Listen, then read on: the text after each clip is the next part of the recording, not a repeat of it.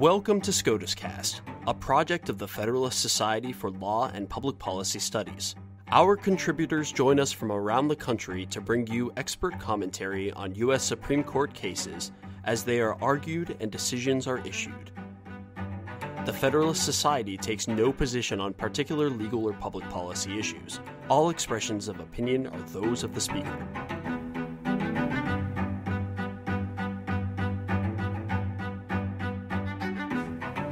Thank you for joining us for this post decision episode of SCOTUS Cast. I'm your host, Spencer Karen. On January 25th, 2021, the Supreme Court decided Henry Schein Inc. versus Archer and White Sales Inc. The question presented was whether a provision in an arbitration agreement that exempts certain claims from arbitration negates an otherwise clear and unmistakable delegation of questions of arbitrability to an arbitrator. This case arose out of a dispute between two dental equipment sales companies. In 2019, the Fifth Circuit decided two questions. First, it concluded that the company's contract called for an arbitration of the quote gateway question of whether a dispute is arbitrable. Second, it concluded that a court, rather than an arbitrator, should determine whether this particular dispute fell within an exception from the contract's arbitration claim.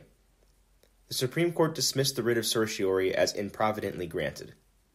Erika Birg, partner at Nelson Mullins, and Richard Faulkner, of counsel at Bennett Injury Law, join us today to discuss this ruling and its implications.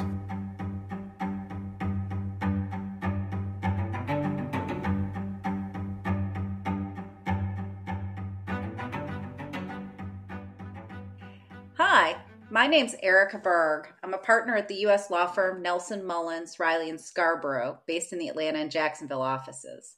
My primary practice is commercial dispute resolution in courts and arbitration. I also serve on the American Arbitration Association's large and complex panel, presiding over business to business arbitrations, both as the sole arbitrator and chairing panels of three. I've also litigated a number of arbitration issues in state and federal court. I'm joined today by Richard Faulkner. Rick is a Dallas based arbitrator and mediator. In his past, he's also been a judge and a professor teaching alternative, alternative dispute resolution both domestically and internationally. Rick has arbitrated and mediated hundreds of disputes, is a contributing author to the American Bar Association's book on how arbitration works, the sixth edition, and he's a fellow of the Chartered Institute of Arbitrators and even trains new international arbitrators. We are together today to talk about Henry Schein versus Archer and White Sales Inc. round two. The Supreme Court held, even by pandemic standards, a pretty lively oral argument in early December. The focus of the debate, for the most part, was on a question on which the Supreme Court did not grant cert, namely whether by incorporating the American Arbitration Association's rules, had the parties clearly and unmistakably delegated the question of whether a particular dispute was arbitrable to the arbitrators. Afterwards, we all engaged in a lot of speculation as to how the Supreme Court was going to tackle the question, given that they had not granted certiorari to answer it. Indeed, had denied certiorari on that question. But I'm not aware of anyone who predicted that the Supreme Court would do what it ultimately did in late January dismiss the writ as improvidently granted, or as I read on the SCOTUS blog, they gave it a dig, that same day, the court denied certain Piersing versus Domino's Pizza franchising LLC, which was pending from the Sixth Circuit.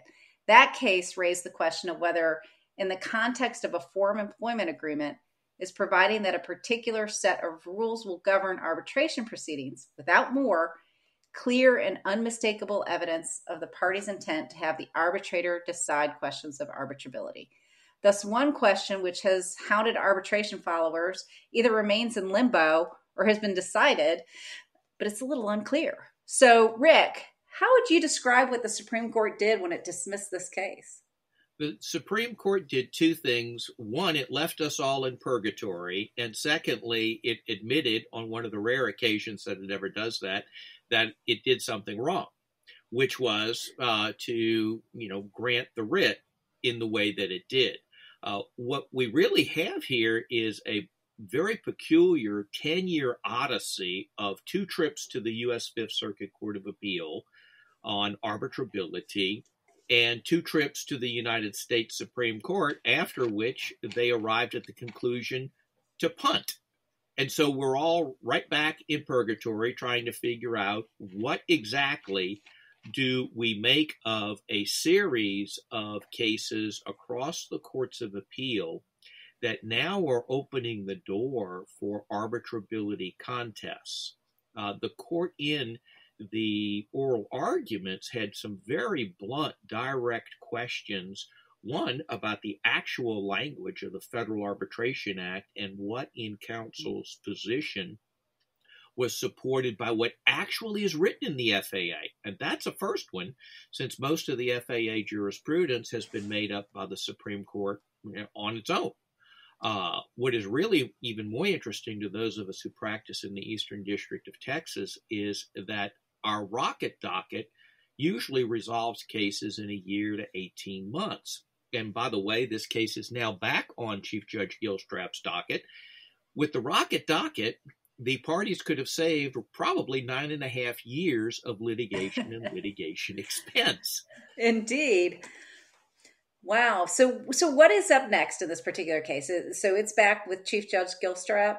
Yes, and Judge Gilstrap is himself an arbitration scholar. Very few people realize he was a fully qualified international arbitrator uh, and mediator and has quite a bit of experience in this area. So the parties are going to get yet another very well reasoned decision. Now, one or more of them may not like it, perhaps all will not like it, but there will be a basis for yet another uh, review and exercise of his decisions by the Fifth Circuit and potentially by the Supreme Court.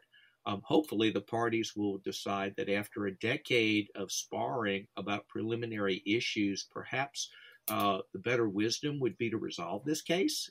Um, you know, can't you imagine think, clients would be very happy with paying for this. You, yeah, you kind of wonder. You kind of wonder that you've been litigating for ten years and you're not even out of the gate yet as to where the dispute's gonna gonna be decided. But you know, it sort of seems interesting to, to me as well. And maybe it should be obvious, but why is it so important to some parties to ensure that the arbitrator is not deciding his or her own jurisdiction over their dispute?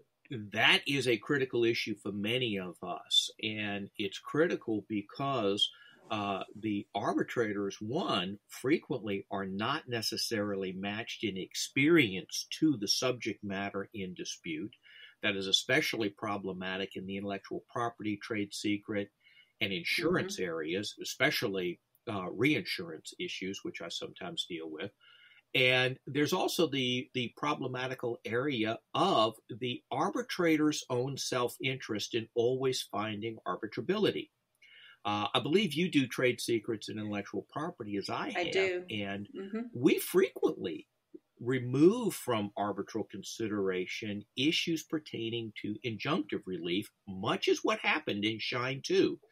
And therefore, we don't want the arbitrators involved in considering or granting temporary restraining orders, temporary injunctions, etc. Right because we need to be able to get to court, get to court quickly, and have an enforceable order backed up by the penal authority of a real court. And right. I think I think to that point, like a lot of people probably don't realize, to your point, Rick, that the an arbitrator can't do anything to enforce his or her own order. You still have to go to court to get it enforced. So if you're arbitrating injunctive relief, which was the genesis of the this case, then you're still having to go to court and you're still fighting all that. You might as well just go to court once and get it done. Exactly. When I was a trial judge, uh, you know, my orders would be followed or else. The or else was well understood by everyone. Uh, I have the pleasure of being married to a district judge, and I can assure you she has zero tolerance for parties that disobey her orders. And, you know, it's critical that you have that enforceability, what in international law is referred to as penal authority or imperium. And consequently, there's no point in going to the arbitrators for this. Now, do the administering organizations have an interest in offering, quote, emergency arbitration? Certainly. But at the end of the day, do you have anything that is immediately enforceable? And the answer no is if you don't go to court, no. And by the way, right. all the major international and domestic arbitral rule provisions allow you to resort to a district court for preservatory or injunctive relief without violating the agreement to arbitrate. And very few people realize that, and that didn't come up in the Supreme Court discussions. Right, and it's interesting that it didn't because of because of the other issue that we're really talking about today, which is this this incorporation issue. That that was you know that was front and center during oral argument. You know, was it a clear and unmistakable delegation of the authority when the Supreme when um, the parties said that they would use the AAA rules? I don't think I don't think they thought about it. Right, I, I've called that notion preposterous, quite frankly. That that my drafting partners in the corporate world were thinking, oh, well, I absolutely want my arbitrator, who I don't know yet, to decide whether they have jurisdiction to decide the rest of the dispute. Um, it's, it's, I agree it's, with you on that, and quite frankly, uh, you know, the reason we got here is a misapplication of the international arbitration doctrine of competence, competence. and yes, that's with a K, not a C, uh, right. in the original German. And that those cases are inapplicable to American domestic arbitrations because there you had the most sophisticated of international players advised by arbitration specialist counsel determining who and where they would go when there was a complete absence of a trustworthy national court. Remember, mm-hmm. in the international context, you frequently do not have a court or any court of the parties that anyone would trust. Right. And so right. it is necessary to employ the competence competens doctrine. But in the U.S. domestic context, it makes absolutely no sense. Now, I kind of have to do a little bit of a confession because I may have created part of this mess when I drafted the original language that became Rent-A-Center v. Jackson. But there, frankly, I was addressing a similar problem, which was the then Ninth Circuit Court of Appeals was irremediably hostile to employment arbitrations. And so I drew in the competence competens doctrine with the hope that I could keep the Ninth Circuit out of my client's business. I had no idea it would metastasize into this mess. yeah, thanks, Rick. Thanks. Yeah. Thanks well, at least it keeps us lawyers busy. That's true. That's true. It does. It is. So, so where you know where is the this the line right now for the federal courts? What do, how do they line up on what I call the incorporation issue? Where you know I choose JAMS rules or I choose AAA's rules, and therefore they have the jurisdiction. Where are the where are courts? The uh, courts of appeal are pretty uniformly uh, in favor of incorporation by reference, no matter how obscure. But now that this has come forward, one, the Fifth Circuit clearly uh, is set up to reconsider this issue. Secondly, now that the bar is advised that this is a real problem and that there are other problems inherent in mere incorporation, I think that any counsel who see that there is a legitimately arguable point on arbitrability would be well advised to challenge it. Uh, you have uh, cases such as um, a Third Circuit case in which the court itself has described this conundrum as relating to the the um, mind-bending question that is quote the queen of all threshold issues unquote.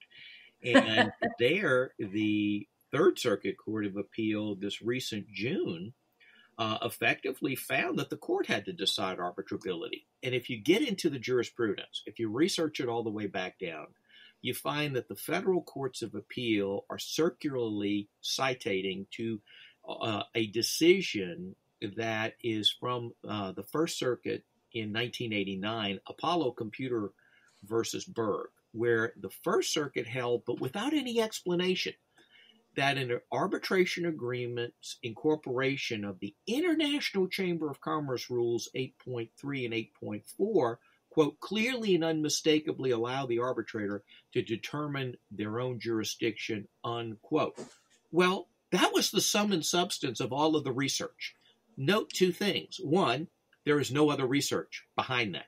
Two it was the international rules which has zero legitimate applicability to domestic arbitration.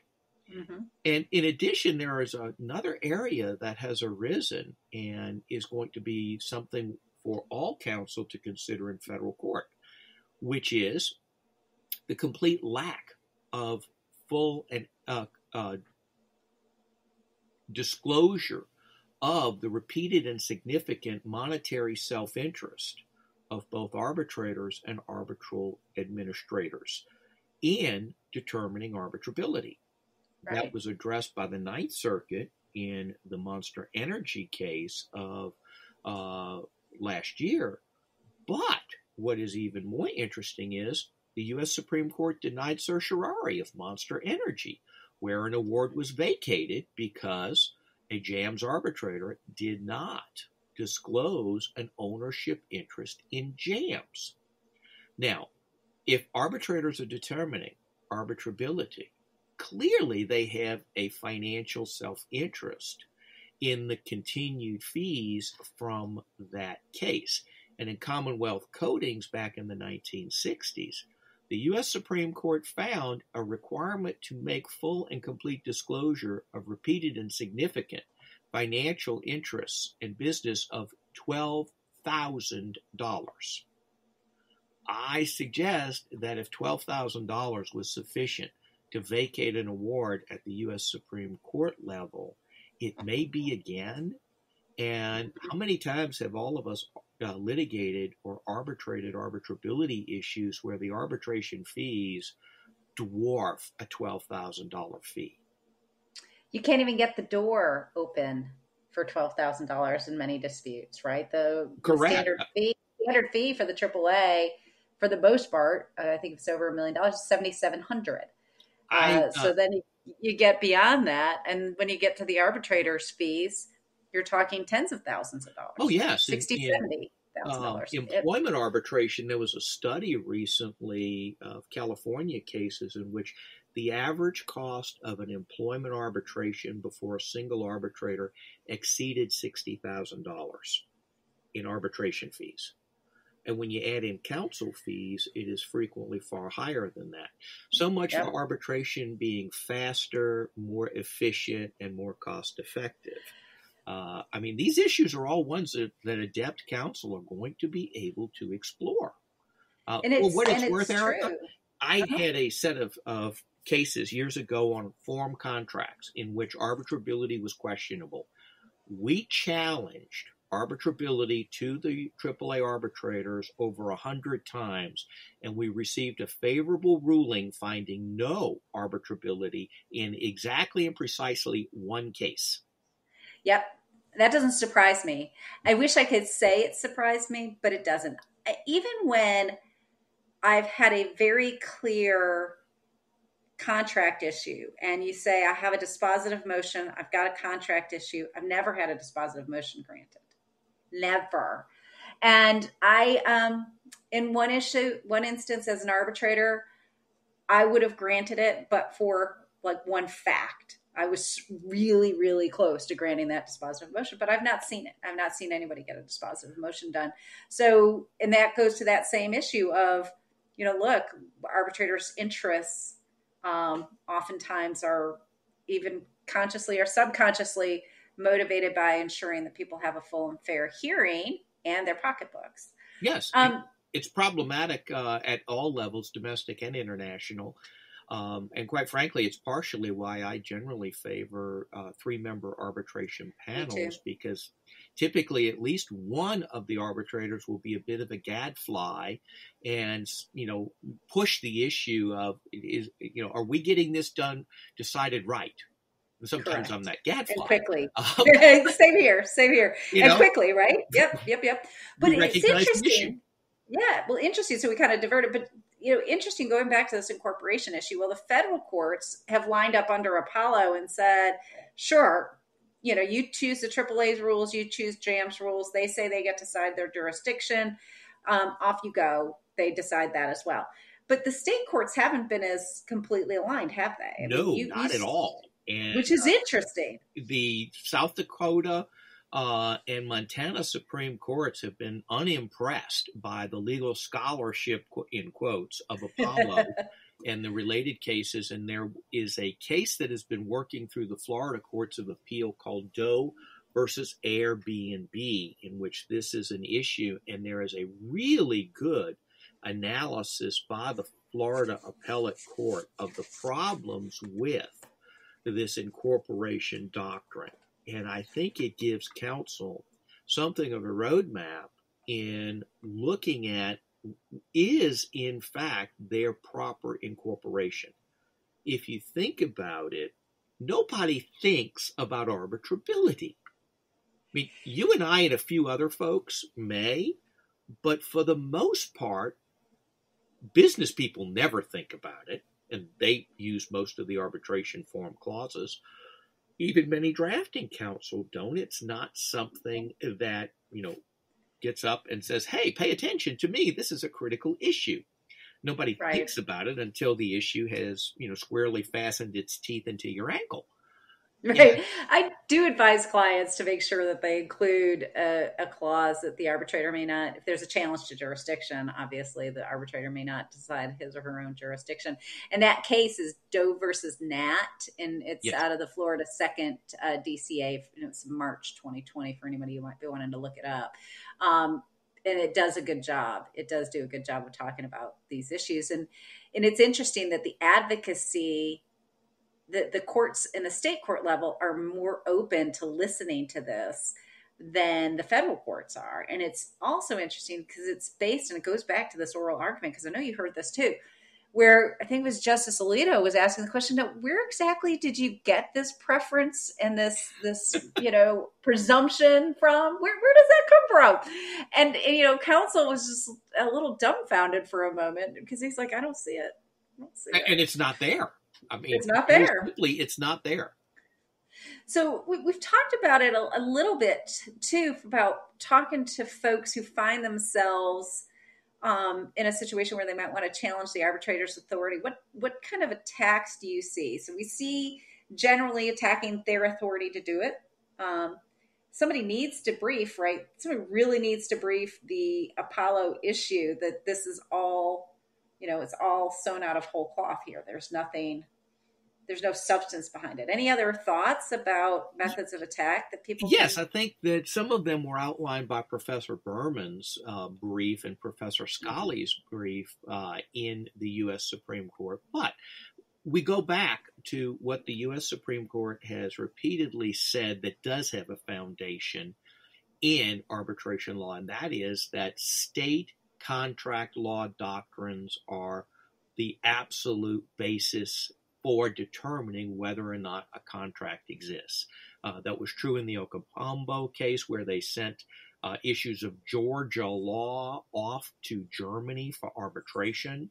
And so, any opportunities under the domestic state law or the law of the contract, if it is specified, uh, open the door for legitimate potential attack. And then engrafted on that, counsel probably should attack delegation and arbitrability determinations and raise not only the fact that there has not been a clear and unmistakable grant of arbitrability to the arbitrators, but also raise the conflict of interest issues that have been outlined in some of those briefs, because none of us would allow our clients to go before a tribunal that had a self interest in the outcome of the case.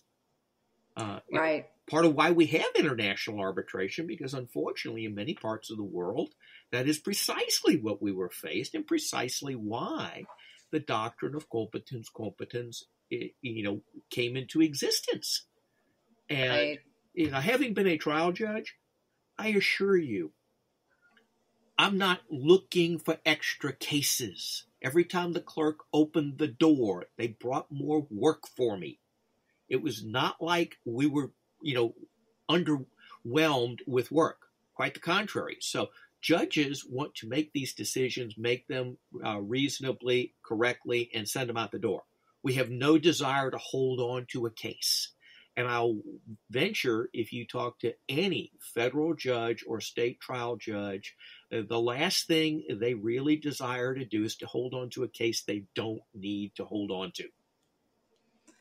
Right, but they need to they need to make they also need to make the decision. And Yes. instead instead what we get and we see in our case law in Georgia here is that uh, you know judges will rubber stamp whatever comes their way, and we've seen uh, Judge Branch was uh, she was on the Georgia Court of Appeals and now sits on the Eleventh Circuit Court of Appeals, and, and she made clear like this is the, our job. We have a job here when it when these issues come to us, and we need to do that job. we need to do the job. We need to look at it um, rather than just saying there's a presumption in favor and, and move on. Um, That's so one it's, good it's thing challenging. An elected judiciary in Texas is that uh, it's much less likely that summary judgments or a, a you know, basic uh, you know, rubber stamping it will happen here because those judges know they're going to face the electorate. Uh, and the bar in two years or four years or six years. And so um, anyone who just does a rubber stamp is going to guarantee themselves a challenge. It's not Yeah, to so say we there don't- aren't some. It's, We all are human, yeah, it's, it's interesting. We're, we're elected. Our judges are elected, but they there's never a challenge. And certainly, you certainly wouldn't get anybody uh, all, all up in arms on an arbitration issue. Uh, so I'd love to think that we'd actually have some some challenges that the the judge isn't is too slow or not doing their job, but that that's never going to happen here. Um, so let's leave our listeners with some tips on how they can avoid spending eight or nine years fighting about where they're going to have their claims heard. You got Sure. some tips for us? Uh, I do. A couple of things. One, drafting. For God's sake, pay attention to the drafting. A single sentence properly drafted would have eliminated the entire decade odyssey that became Schein 1 and Schein 2. Second tip is do not ever rely on an arbitration organization's language for arbitrability. Uh, the AAA's has monumental defects. Uh, Justice Kagan effectively gave JAMS a shout out by quoting from the JAMS language, but even then, if you're drafting an agreement, absolutely specify what you want arbitrated, who you want to arbitrate those issues, and consider even more carefully the issues that should not be arbitrated, injunctive relief, uh, various things in the in the trade secret, competition, non-competition, or uh, intellectual property areas that are necessary for protection. Another p- important point is uh, make sure that your language excluding issues from arbitration also exclude the arbitrability of those issues from arbitration so you have a trial court making those discern, decisions and determinations. Uh, and one of my final tips is think carefully about who should be the parties. Do you want bilateral arbitration? Or do you want multi party arbitration? Or do you wish to preclude and prevent multi party arbitration? What happens uh, in the event that perhaps consolidation is desirable? If you get into the weeds on the rules of the administering organizations, some purport to allow the arbitrators to order consolidation. Uh, this has become a problem in that some adept counsel have found litigation funding slash arbitration funding and have brought thousands of arbitrations against Postmates, DoorDash, and others that you know the initial deposits I believe in the Postmate case I calculated at exceeding sixty million dollars. Uh, Amazing. Think about these things. Your client Yeah. will not appreciate it if you commit them to tens of millions of dollars of arbitration fees and expenses in the employment arena, where AAA and JAMS impose 99.9% of all costs and expenses of arbitration onto our business clients. Yep. Uh, so these are things that need to be very, very carefully thought about. Um, and frankly, it's an opportunity for all of us to go back to our clients and say, hey, look, we need to have a serious conversation about what your contracts say, what arbitration provisions exist in them, what we want, who we want to arbitrate, what we don't want arbitrated, how many arbitrators? Uh, you know, and, and consider seriously exactly what is good and not so good about arbitration. And the last point I would leave everyone with is very much like uh, King George in the play Hamilton we'll be back. it will be. It will be. It, it, this issue is certainly not going away anytime soon. Um, it, particularly if the litigators uh, and the people out there challenging arbitration continue to pound uh, pound the drum on it. Um, so maybe we'll see something. I mean, I was disappointed that they also denied cert in uh, the Domino's case because I thought that you know that one was clearly presented. It was the only question presented, but hopefully there's a couple more on the horizon that we'll bring it back up. If we can get. I agree with you on, on Piersing v. Domino's. I was really hoping the Supreme Court would take that one. But now we actually have an opportunity to formulate very carefully the attacks and defenses on this incorporation doctrine and on these arbitrability issues. And hopefully, we will have a case or cases that will present the issues in a way the U.S. Supreme Court will take them and give us guidance, assuming, of course, that it's relevant, because I noted that earlier this week, the latest iteration of the uh, Forced Arbitration Injustice Repeal Act has been reintroduced in the House of Representatives by one of your Georgia congressmen. Yeah, Hank Johnson. Yes, and it will pass the Democratic House. Now, whether it gets anywhere in the Senate, I do not know. But small businesses are going to be interested this time because the costs of a single arbitration can bankrupt a small company. And I've right. seen it happen to some of my clients. And so small business is now uh, really going to have to pay attention to these issues which is another good reason why we lawyers need to be talking to our business clients.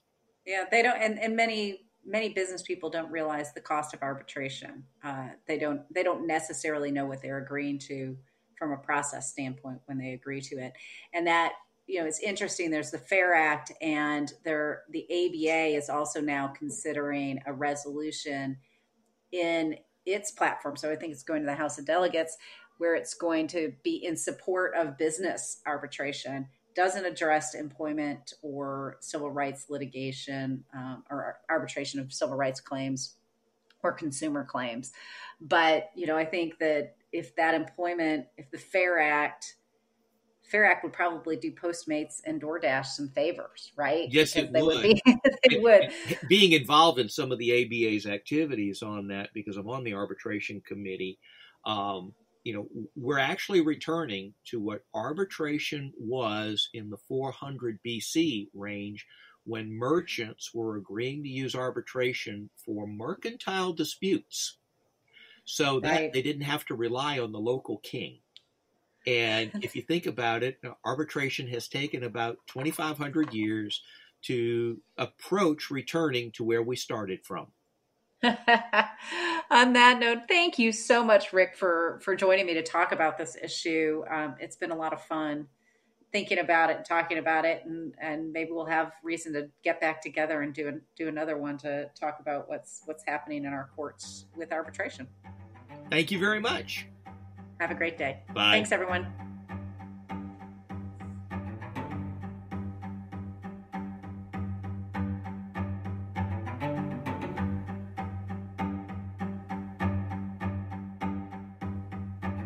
Thank you for listening to this episode of SCOTUScast. SCOTUS Cast is a project of the Federalist Society, a not for profit educational organization of conservative and libertarian law students, law professors, and lawyers, founded upon the principles that the state exists to preserve freedom, that the separation of governmental powers is central to our Constitution, and that it is emphatically the province and duty of the judiciary to say what the law is, not what it should be. Don't forget to subscribe to our podcast series, including SCOTUScast and Practice Group podcasts, on iTunes or Google Play.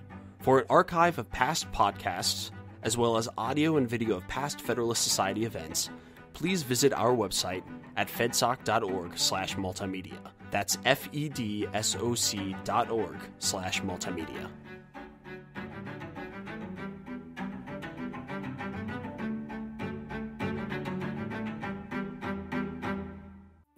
This has been a FedSoc audio production.